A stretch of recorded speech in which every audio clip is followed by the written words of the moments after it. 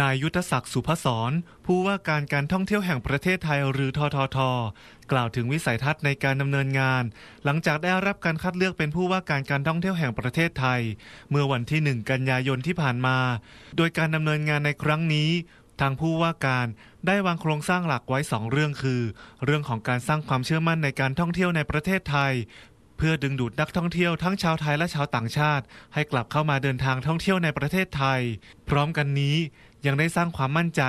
ในการดำเนินงานร่วมกับหน่วยงานต่างๆ รวมถึงนโยบายการกระตุ้นการใช้จ่ายเพื่อกระจายรายได้ ของกลุ่มคนรุ่นใหม่ เช่น กลุ่มนักศึกษา กลุ่มนักเรียน รวมถึงกลุ่มผู้สูงอายุที่อยู่ในวัยเกษียณ โดยการท่องเที่ยวแห่งประเทศไทย ได้มีแผนการกระตุ้นการท่องเที่ยวในวันธรรมดาระหว่างสัปดาห์ เพื่อเป็นการเพิ่มรายได้ของผู้ประกอบการธุรกิจการท่องเที่ยว รวมถึงการกระจายรายได้สู่ชุมชนครับ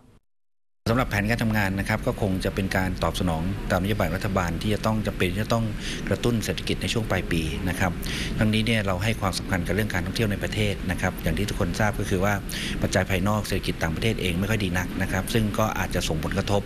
ต่อจำนวนนักท่องเที่ยวที่เดินทางเข้ามานะครับ